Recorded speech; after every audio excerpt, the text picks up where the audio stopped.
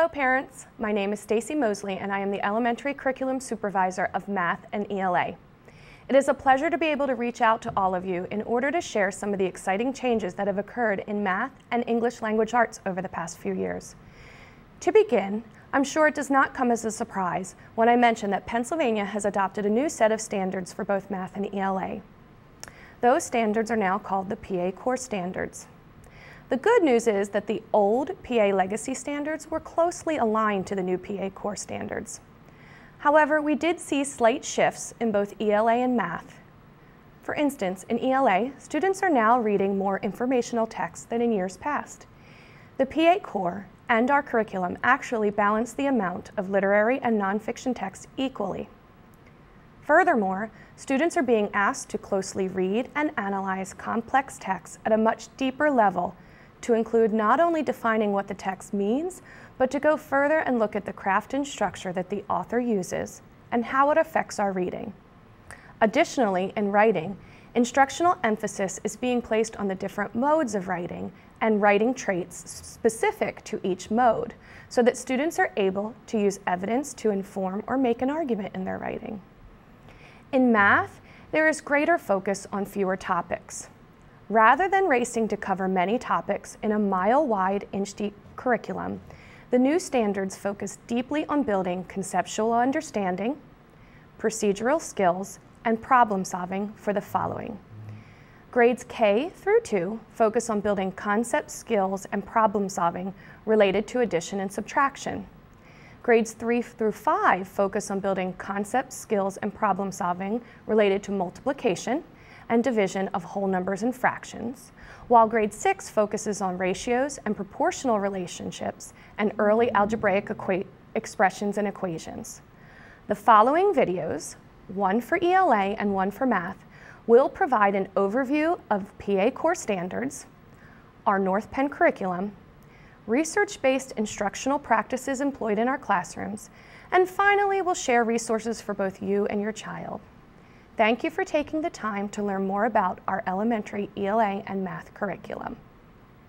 Hello, this is Stacie Moseley, the Elementary Curriculum Supervisor of Math and English and Language Arts, and I'm here to share with you a short video clip of our math curriculum and our math instructional practices that you will see in place in the elementary classrooms.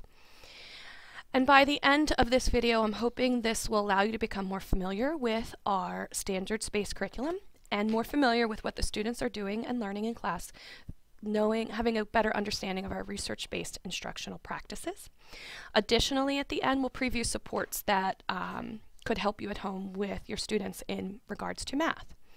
So um, as I had shared in the ELA presentation, our curriculum um, is aligned to the PA core standards. We had talked about that the standards define what the no student should know and be able to do by the end of the year, and our curriculum, our instruction, and our assessments are aligned to those PA core standards. The standards define clear learning goals for the student and developmental learning patterns over time. It uses consistent language, and coupled with our curriculum, it ensures that students at all 13 elementary schools are learning the same thing, though it might be in different approaches, but they're learning the same thing so that students may move from one school to another and still be getting the same curriculum aligned to the standards.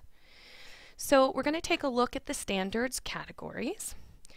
Um, like ELA, our old legacy standards and the new PA core standards were pretty closely aligned.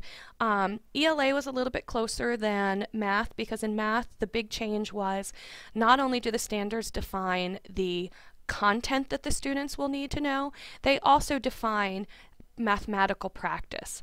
So the standards in math stress both the procedural skills which is the standards mathematical practice, and the conceptual understanding that students need in order to apply, apply that critical information they need to succeed at higher levels. Our K to 5 standards provide students with a solid foundation in whole numbers, addition, subtraction, multiplication, division, fractions, and decimals, and help students build the foundation to successfully apply more demanding math concepts and procedures and move into the application piece. They also provide detailed guidance to teachers on how to navigate their way through topics such as fractions and negative numbers and geometry because it progresses from grade to grade. And then our grade six um, standards and on, it's actually six through 12, um, knowing that the students have built a strong foundation at K to five, they'll do hands-on learning in geometry, algebra, probability, and statistics. And students who've mastered the content and skills through sixth and seventh grade will be better prepared for algebra when they come to it. So if we look at, I just wanted to show you some standard samples because sometimes out there, um, you know, it's kind of like demystifying what the standards look like. And this is in algebraic concepts. One of the um, one of the standards categories under algebraic concepts is operations and algebraic thinking. And you can see how it progresses from this is what pre-K students should be able to all the way up to fifth grade. So the standards go K to five and then six through 12. There's two separate documents.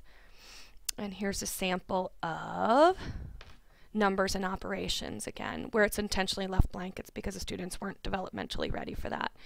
But in grades K, as far as numbers and operations in base 10, students should be able to use place value to compose and decompose numbers within 19, all the way up to grade 5, apply place value concepts to show an understanding of operations and rounding as they pertain to whole numbers and decimals. These are fur further defined into the competencies that students will need to do, and we define those in our curriculum as well. So if we move into our curriculum, what really is curriculum? Curriculum is not the standards. It's not a textbook, it's not a program. Those are all resources that we use to support our curriculum. So it is a document or plan that defines the content to be learned by students and the intended outcomes for that learning. And what it's like, it's like a roadmap. So it says, we want to get from point A to point Z. How are we going to get there along the way? So it, um, it, it contains pacing and it's the instructional plan of how we're going to get them to meet the standards. Furthermore, um, if we look at curriculum, we talk about is what the students should know, understand, and be able to do. What they should know are the key concepts and the vocabulary involved in math or ELA for that matter. And then understand that's the essential questions or the big ideas in relation to those concepts. And then do are the competencies. So what do they need to do to ensure that they have mastered it? And so I'm just going to show you a quick sample of our math, one of our math curriculum frameworks. So this comes from fourth grade and all of our math frameworks look the same. And as you can see, we define our big ideas, the essential questions, the um, PA core standards that they're linked to, and then we also define those key competencies or the skills underneath each one along with the math practices. So teachers not only need to be teaching the content, they also need to be teaching certain math processes. And this is really the different piece with the new PA core standards is that it's not just about the content, it's also about teaching them processes for solving. And then um, we also define any new vocabulary that would come up, and then you can see we also put our assessments and our resources. And again, in math, our biggest resource is the Go Math program, and then in ELA, it is the Journeys program. But again, that's not our curriculum, that's just a resource we use to support it. So now we're going to talk a little bit about the instruction, the instruction that you will see in the classrooms and how students are learning. All of our instruction, our instructional practices, are based on current research. So in ELA, like we talked about, we use the balanced literacy framework of instruction. In math, we use the CRA sequence of instruction. We use problem solving, and teachers will be building math fluency with students. So to begin, I'm going to talk about the CRA sequence of instruction. That stands for concrete, representational, and abstract sequence of instruction.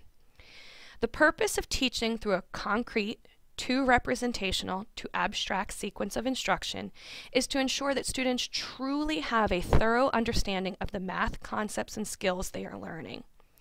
When students are allowed to first develop a concrete understanding of the math concept or skill, then they're much more likely to perform that math skill and truly understand the math concepts at the abstract level.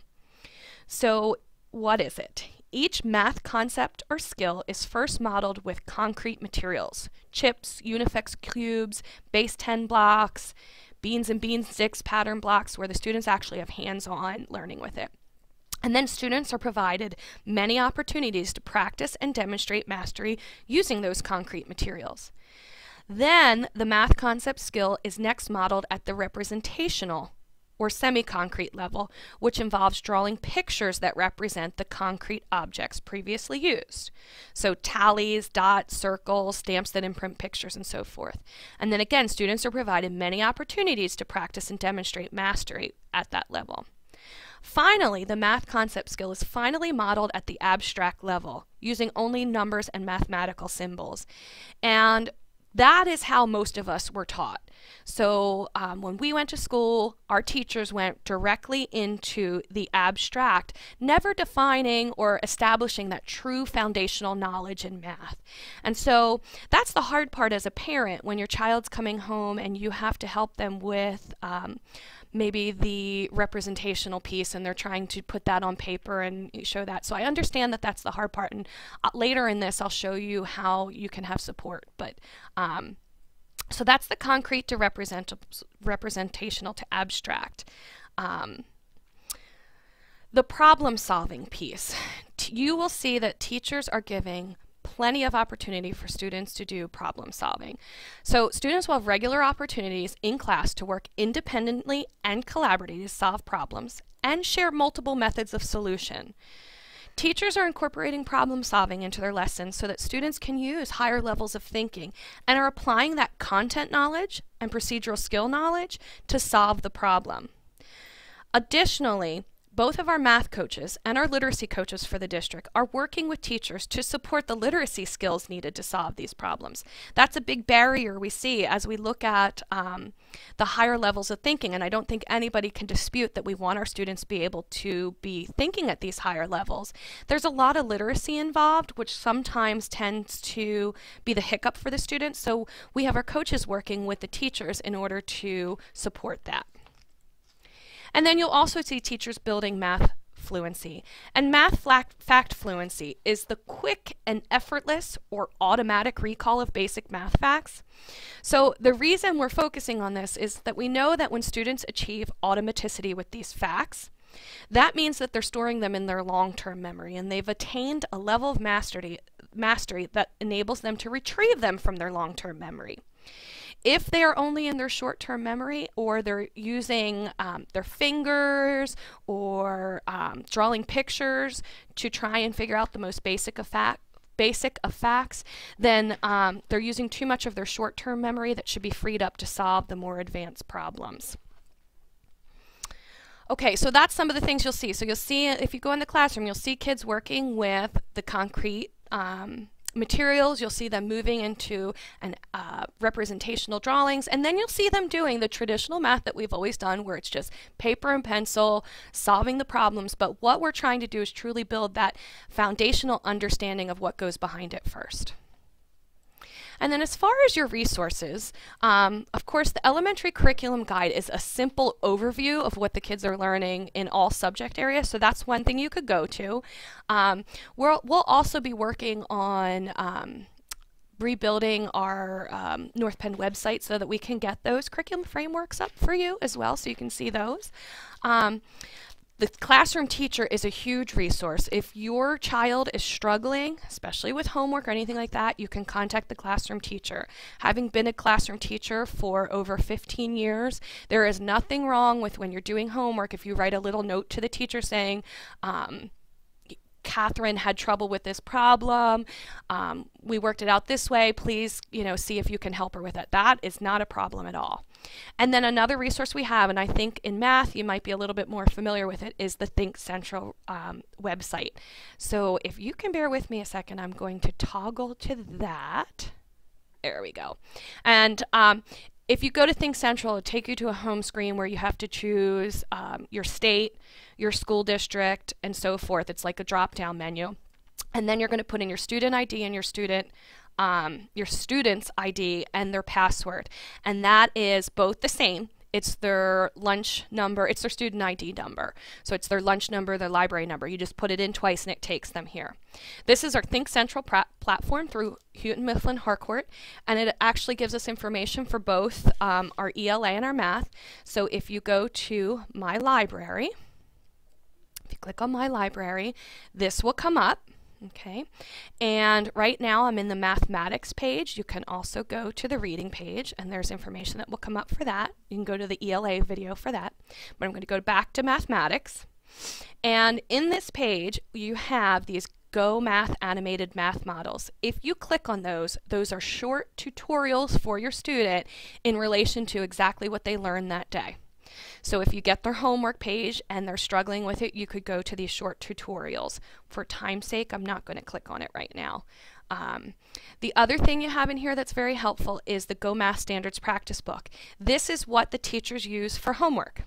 So if your child's absent or if your child can't find their homework page and they can contact either someone else or look in their homework book and say it said page 63, you can go into here and print that off. Okay, so that's there. And you can go in and see if your children are having trouble, you can go and print other pages. The other thing that's in here is a reteaching book. It marries with the standards practice book, and that if you are inclined and you want to provide your child some extra help at home, the reteaching book would help with that too.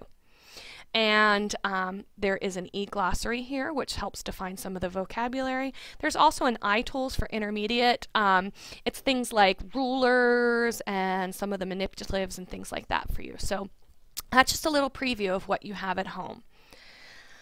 I hope you enjoyed listening to this presentation. Again, it was just a quick snippet of what our math curriculum and instructional practices look like.